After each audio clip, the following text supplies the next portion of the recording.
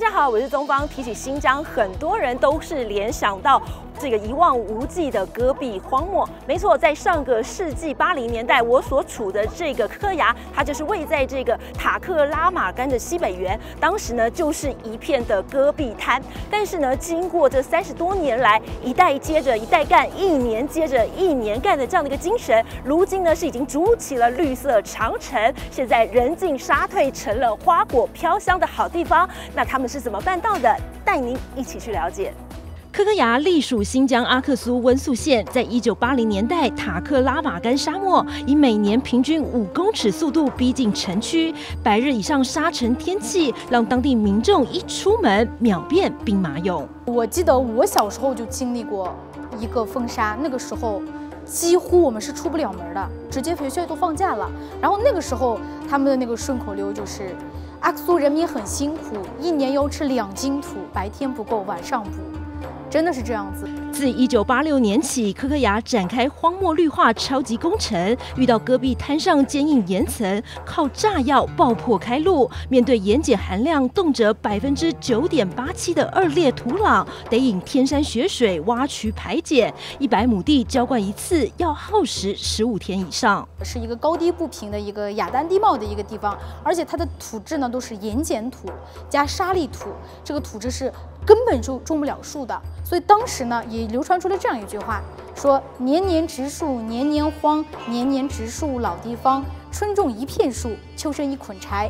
最普遍我们用的就是灌水压碱，就是用大水漫灌引水过来，然后把这一片就跟洗衣服一样，把这个碱排掉，就是在边上挖个排碱渠，然后这边就是灌水，然后这个碱在上面，就是上面的那浮碱就是在排碱渠把它排掉。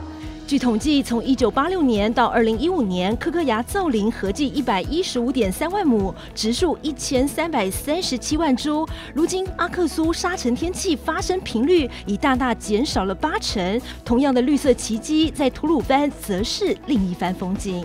新疆坎儿井呢，与这个都江堰跟灵渠并称中国三大古代水利工程，是属于新疆地区这种干旱少雨特有的一种饮用地下水的方式。它是先民们的智慧结晶。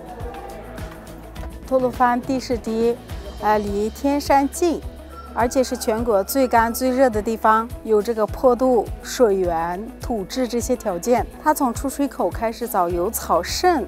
啊，出水的部分去开挖，因为地下也有跟那个人体血管一样，有水脉、水线，它跟着这个水脉去挖，越挖越多，越挖越多。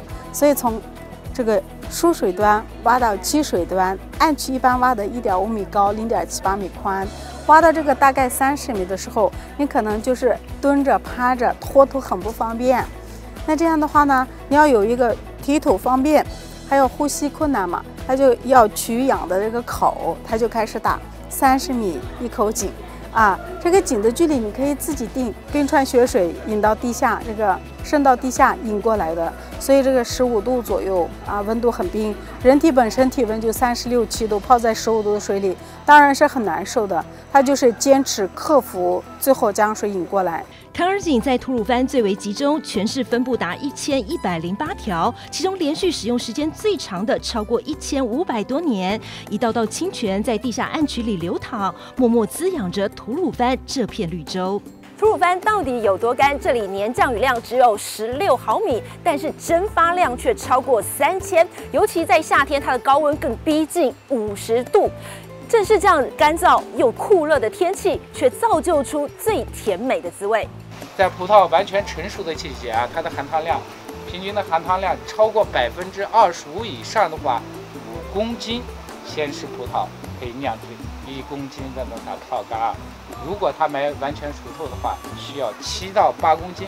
吐鲁番是大陆葡萄主要产地，总产量占全疆的百分之五十二点八四，全大陆的五分之一。在葡萄沟至今还保留传统晒干方式，晾房用砖搭成，四周保留墙洞透风。新鲜葡萄悬挂木架上，接受时光洗礼，形成色香味形四绝，更借“一带一路”远销海外。它对外出口呢，主要是通过陆上这块有中欧班列，还有海运这一块，主要从天津港这块出。呃，我们到德国的话，肯定需要一两周左右的时间。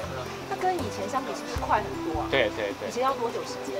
以前的话，据我了解的话，可能需要二十多天，将近一个月的时间。在吐鲁番，葡萄超过五百种，今年种植面积达十四万亩，产值上看三十亿人民币。从不毛之地到绿洲果园，是古往今来好几代人的坚守换来的经济奇迹。记者李宗芳、黄江伟，我们在新疆的采访报道。